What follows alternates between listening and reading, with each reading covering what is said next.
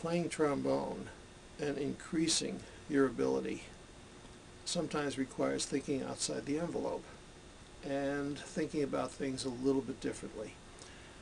There are considerations that you may want to address or you may not want to address, but some of the considerations and some of the uh, outside the envelope type of thinking might include, uh, let's start with loud playing versus soft playing.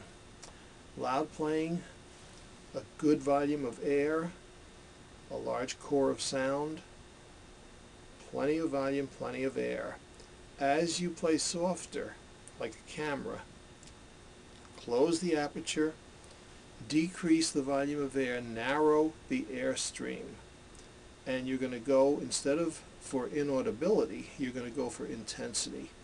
So that a soft passage or a, or a quiet sound will have penetration and intensity into it. And it won't be just something that turns out to be wallpaper. Um, when you play slow, this is slow versus fast now. When you play slow, try giving a little more volume than you might otherwise in order to maintain the slow feel, in order to maintain the weight and the continuity of sound. When you play fast, you want to maintain the tempo. Tempo is crucial. Play lighter than you might want to. Use accents and spots to highlight places needing a rhythmic push. Punctuate spots. Don't try to play the whole passage loud just because it's fast. Keep a complete awareness of the tempo and don't tend to be notey. Don't go after each note, but go after each beat. That will put everything in a good perspective.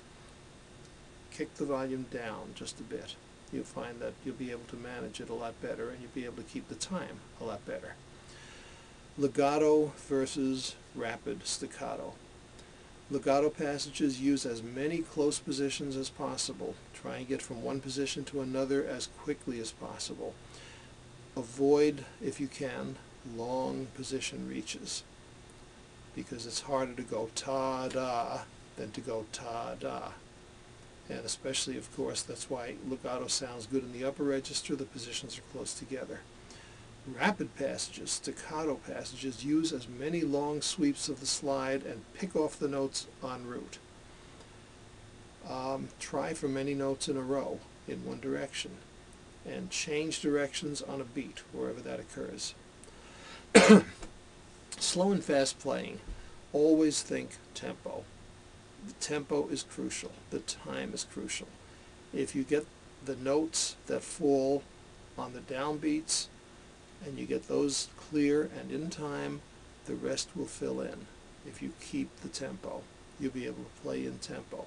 If you start getting note conscious, then you're going to slow the tempo down just to get the note sounding exactly right and you won't realize you're slowing the tempo down because your mind will be on the notes themselves but the tempo will get slower and slower and you will be called upon to uh, play faster um, although it won't seem to you that you're slowing down, you will be. So keep uh, an awareness of the time and play according to the time. Everything will fill in if you keep the time going. Staccato, legato, staccato playing. It's not an attack, it's a release. Move the tongue away as quick as possible.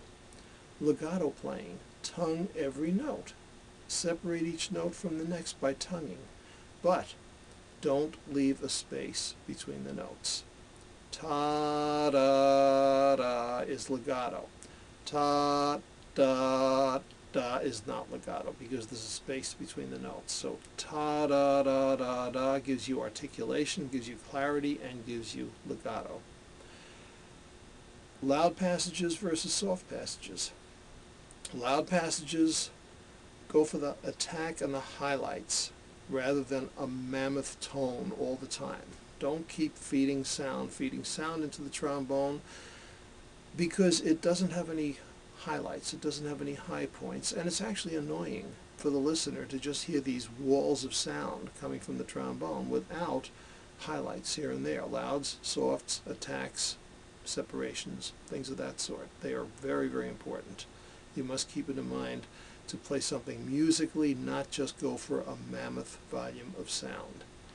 Soft passages, as we said before, go for intensity rather than inaudibility.